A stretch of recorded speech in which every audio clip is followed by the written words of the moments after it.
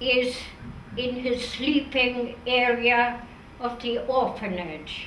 With him are some six children who need nursing during the night. He is working on his diary. It's a hot August. Children are sleeping, 200 of them. I spend at least 10 minutes listening to children breathing, coughing, sighing. There's so much to learn from the cough of a sleeping child. What's the matter, Rivka? Huh? Can't you sleep? Here, come on, give me your hand. Yeah. Ah. Let's have a look at these little fingers. Oh, look, the little finger's going to sleep. Ah. And here, the next finger is going to sleep too. And now the middle finger, right? And look, this one too, that's the fourth finger, is going to sleep. And you too, you big fat thumb. You go to sleep too. Okay? All right? Ah, kotki dwa, share. The other day, there was another fight with the Jewish Relief Committee. I'm not asking for anything. I'm telling you. I must have three sacks of flour, one sack of cereal, and yeast. That's what I said, yeast. For the children. That's for whom? I can't sleep at night when it's quiet. The clock is going around faster and faster and faster.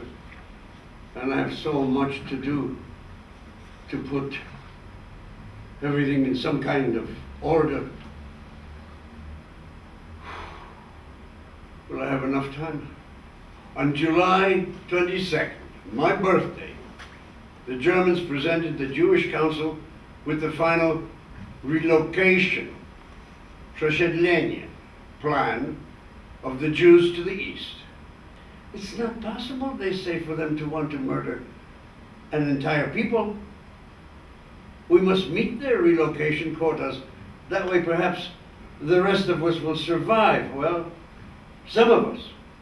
How do they expect me to part from my children? Somebody else came from the other side of the wall and, and, and tried to persuade me to leave. Apparently, they even have a room ready for me.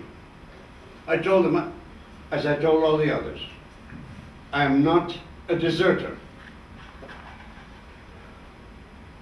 No one can possibly keep me away from my children. I feel good after that vodka.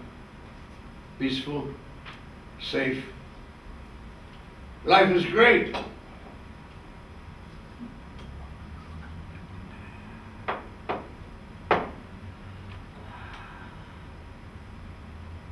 Few days ago, I bought myself 50 grams of so-called sausage.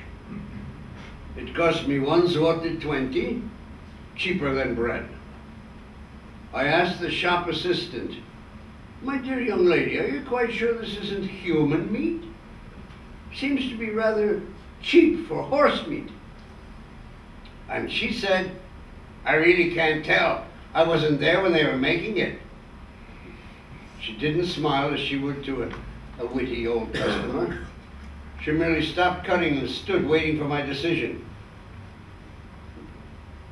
It was a poor joke. I always gave my nationality as Polish and my religion as Jewish, with a question mark. Because I don't know what faith I am, even though my faith was always held against me. My grandfather was a doctor, my father Joseph Goldschmidt, a very successful lawyer, my mother Cecilia was intelligent, kind, and excessively solicitous, a saint. Why is it that you need a license to run an ice cream stand or a workshop, a license for anything at all, regardless of how small it might be, but no license for producing children. Everything would be fine if only parents let us be. A child is a complete human being. And we weigh it down with burdens of tomorrow's responsibilities without giving it today's human rights. In terms of intellect, children are our equals, at the very least. They simply lack experience. And in terms of emotions, they're far superior to us because they have had no time to develop any inhibitions or prejudices. I was still a youngster in 1905 during the first revolutionary movements against the Tsar, the first stray gunshots. I like vodka. I always have. The one thing I never had time for was women. They're too demanding. I was involved with one once, and that was more than enough for me.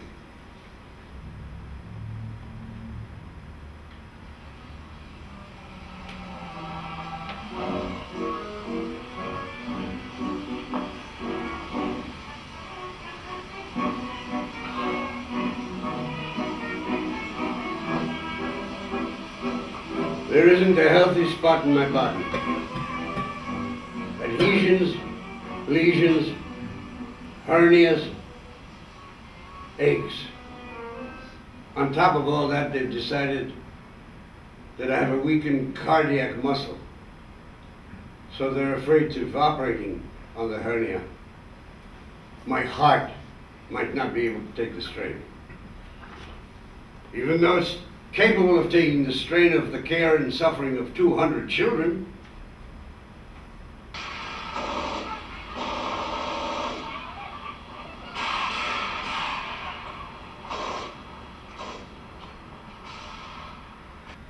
I don't care. This profound indolence,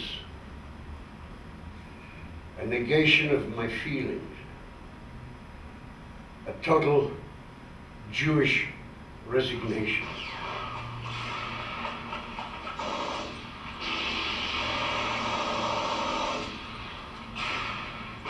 And falling apart and creaking at the joints, disintegrating. But alive. Very much so. I can still pack quite a blow, I assure you. Anyone gets in my way can testify to that. I was part of a consulting team of doctors at a rich Jewish man's house once. The foremost specialists of the day huddled around his child who had a slight sniffle, shaking their heads, debating. And uh, what, uh, my dear esteemed colleague, is your diagnosis, they asked me. A little rich Jewish kid's cold, I said. Treated the Polish poor for nothing, but I charged the Jewish poor 20 kopecks. Because it says in the Talmud that a doctor who doesn't get paid doesn't do any good. I made it up for it by charging the rich double. When I came back after the war in 1918, I was worried about what I might find at the orphanage. But it was in perfect order. Certainly no worse than if I'd been there, possibly even better. Stefa had managed everything on her very own. And during the typhoid ep epidemic, she, she used to carry the children from the orphanage to the hospital in her arms. In August 1939, the moment I heard about the mobilization, I took my major's uniform out of mothballs and volunteered for the army. I was too old, they didn't need me. Chaos started soon after that. I stayed in Warsaw with my children. I spoke on the radio about small acts of heroism, about how the children ought to behave in particularly dangerous situations. When Warsaw was besieged, I used to rush over to the town center where bombs were falling and artillery shells were exploding just, just to find some food. I kept coming across lost, terrified, wounded children. And I would carry them to the first aid stations and the shelter. But the horror and the suffering in the ghetto was much worse. I used to ask, beg, and shout. Once when someone stole a carload of potatoes during our move to the ghetto, I went to the Gestapo and asked for our property. And at first the German functionaries couldn't understand why a Polish officer was asking for some Jewish potatoes. Why does this concern you? I'm a doctor. Fine, go and treat Polish children. You're not a Jew, but I am. Then why are you walking around without your armband? Ah.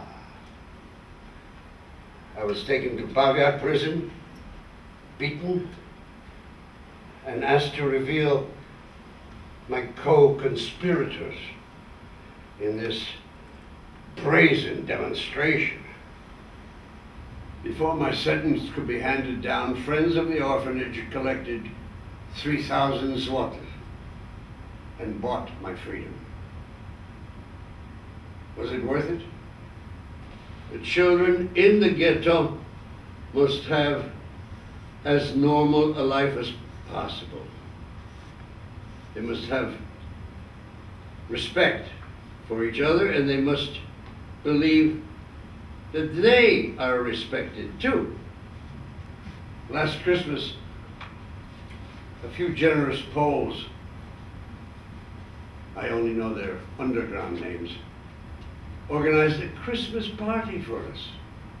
They were disguised as garbage men. They smuggled in a whole carload of presents under a pile of rubbish. The Count, his underground name, entered last carrying a Christmas tree. The scent of the forest was everywhere. And they sang a Christmas carol, Peace to Men of Goodwill. Pokój ludziom dobrej woli. The children were speechless. We were all crying. I witnessed a scene where a man was made to stand on an upended barrel.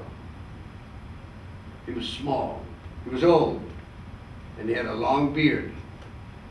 And two German officers, big, well-built young men, were cutting the old Jew's beard off with a pair of ordinary nail scissors. It looked funny. The Germans were laughing their heads off. The crowd was echoing the laughter. So what? What's horrible about that? Nothing at all. Except that you can put a Jew up on a barrel with impunity and that people would simply laugh. And this is what Ulek wrote. The widow is sitting at home and crying. She's hoping that perhaps her elder son will smuggle some food through. The widow, the widow, widow, widow doesn't know that a German policeman just killed her son. These ghetto children, the smugglers, are the saviors of the whole ghetto. When a German soldier turns his back, they run across to the other side of the wall. They bring back a few potatoes, some carrots, some bread. And if the German sentries don't shake those treasures out of their rags that they're wearing, that is, or kill them, these children are prolonging the lives of half a million people living in the ghetto. If they ever build a monument to honor the dead, they'll have to build one to the children and then carve out the words to the unknown child smuggler. Oh, it's so quiet today. Blessed be the peace, the silence of the night. Last night, they shot only seven Jews. How much longer will this quiet last? They've already deported all the prisoners, all the old people. Now they started picking up people at random. The Jewish police are helping them make up the quotas. A little Jewish girl once asked what she wanted to, what she wanted to be. I'd like to be a dog because the Germans like dogs and I wouldn't have to be afraid that they'd kill me. The most terrible thing is going to your death passively. Hmm? It's so much easier to die with a gun in your hand. Being born and living, that's a hard thing. It's so much easier to die. I'd like to die in full possession of my senses, fully conscious. Hmm. Dzieci, czas wstawać! Ścielcie łóżka i na śniadanie! Wstawać! Ah, śniadanie. Breakfast. Shall I or shall I not get up? I haven't had a bath for quite a time. Stefania! Don't forget, the children have to be weighed today.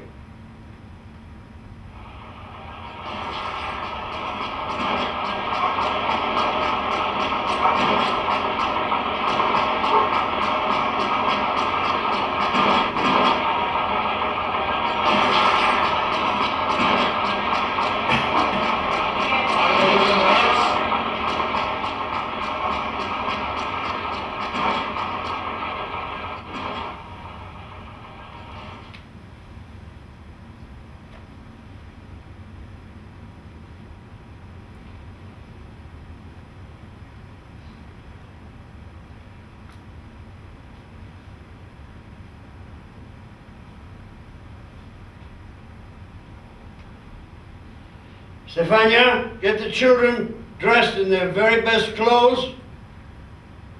Tell them to line up in the hall in fours. And take the orphanage banner, the green banner. We are going on a trip. Those witnessed the march saw Korczak holding two young children by the hand at the head of an orderly procession of 192 children, Stefa and the staff. All were taken to immediate extermination in the gas chambers. The mountains of putrefying corpses were eventually cremated. The ashes scattered in long trenches and covered with earth in which evergreen trees were planted. 17,000 stones brought in from the Polish quarries represent villages, towns, and countries of the one million men, women, and children who died there. Only one rock is engraved. Janusz Korczak, Henryk Goldschmidt i dzieci.